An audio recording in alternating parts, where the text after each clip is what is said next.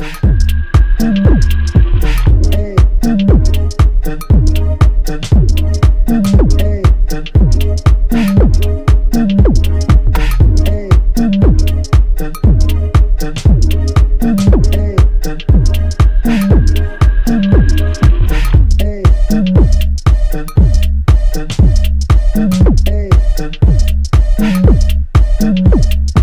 Bienvenue dans une nouvelle vidéo et aujourd'hui on est en direct de Monaco. Et euh, en marchant à Monaco j'ai remarqué un magnifique yacht sur mon passage et je me suis dit c'est une opportunité pour vous le présenter. Alors là on parle d'un Eleva Yacht donc Eleva Yacht chantier italien donc tout nouveau dans le marché du yachtisme donc il crée des voiliers euh, on va dire avec un programme croisière euh, performance avec un design juste hors norme donc vous pouvez voir la coque bleue la couleur de la coque qui est juste impressionnante donc là, on va faire un petit tour à l'extérieur du bateau. Je vais vous montrer un peu euh, les fonctionnalités du bateau, les dimensions. Il faut savoir que ce bateau mesure 16 mètres, a été construit en 2018. Donc c'est, encore une fois, j'insiste, c'est un chantier italien, euh, marque de bateau assez récente. Il faut savoir que ce bateau, c'est l'entrée de gamme du chantier Les Vaillottes.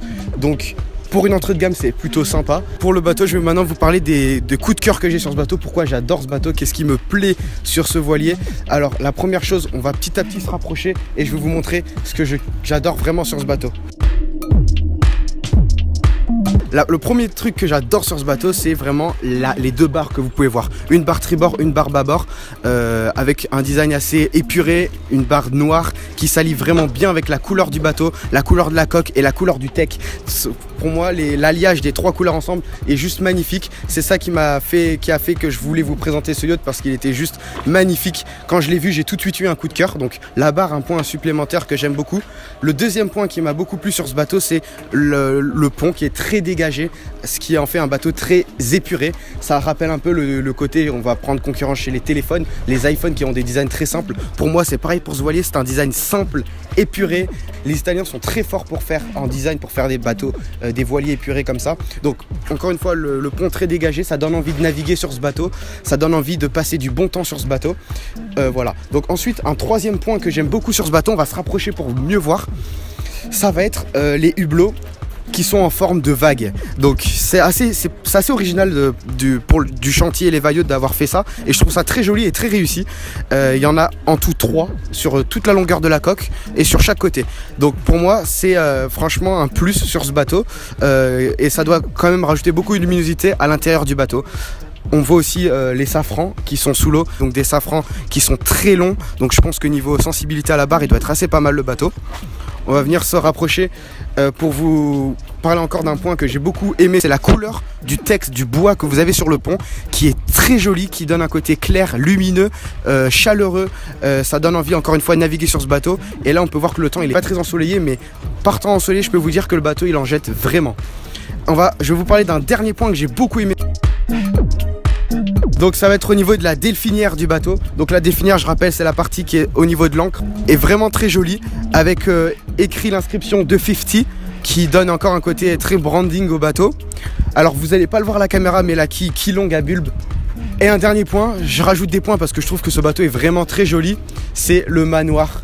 Euh, le manoir qui est magnifique, euh, qui donne vraiment un côté très moderne, très épuré au bateau. Donc pour moi, si j'ai un truc à vous dire sur ce bateau, c'est euh, que ce bateau est très réussi. Le constructeur du bateau a vraiment euh, travaillé le design. J'ai jamais essayé ce bateau sur l'eau, mais je suis sûr qu'il navigue aussi très bien. Donc franchement, si vous voulez voir ce bateau, il est sur Monaco en ce moment. Euh, et pour moi, c'est vraiment un coup de cœur. Alors maintenant, on va passer à la présentation intérieure du bateau. Donc il faut savoir euh, que lorsque vous achetez donc le Eleva Yacht, le 50 de chez Eleva vous avez le choix entre plusieurs finitions, plusieurs coloris et même plusieurs dispositions d'intérieur et différentes fonctionnalités. La première chose, c'est qu'on peut voir que le bateau est très lumineux à l'intérieur. Et ça, euh, c'était un pari qui était assuré car on peut voir avec les nombreux hublots, notamment les hublots sur chaque côté de la coque, les hublots au niveau du roof, et j'en passe, il y en a un peu de partout.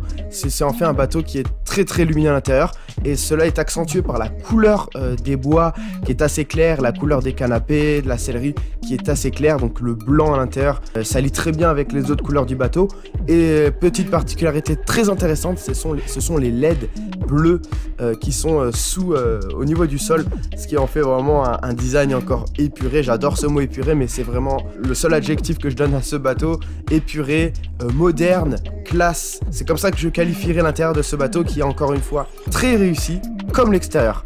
Donc maintenant on va se focaliser sur le plan pour que vous puissiez avoir une représentation assez générale du bateau. Donc on se dit à tout de suite. Let's go donc pour le plan, je, l'ai déjà dit tout à l'heure, mais je le redis, on a le choix entre plusieurs euh, choix de coloris, d'intérieur et même d'organisation intérieure.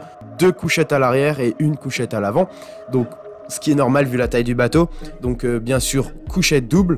Euh, le carré central qui est bien bien agencé avec un canapé qui est en angle. Euh, on a même donc on a la cuisine qui est à l'avant, juste derrière la couchette avant. Une, cuisine d'angle encore une fois. Ensuite bien sûr on a deux salles d'eau, une à l'avant avec la couchette avant. Donc c'est plutôt une, suite parentale qu'une couchette avant avec justement la, salle de bain et la couchette qui en fait une pièce à part on va dire. Plus la, la salle d'eau qui on va dire entre guillemets arrière mais qui se situe juste au, côté tribord en face du canapé. Donc pour moi le bateau est une organisation très simple mais qui suffit largement pour euh, naviguer dans le confort et la performance. En tout cas, merci beaucoup d'avoir regardé cette vidéo. Alors je sais c'était une présentation, j'ai pas dit tous les détails du bateau, mais c'était vraiment pour vous le montrer plus que pour vous le présenter en détail. N'hésitez pas à vous abonner à cette chaîne YouTube si vous aimez les bateaux, les voiliers, les yachts. Vraiment, mon objectif c'est de vous partager cette passion. Et on se dit bien sûr à la prochaine pour une nouvelle vidéo. Thank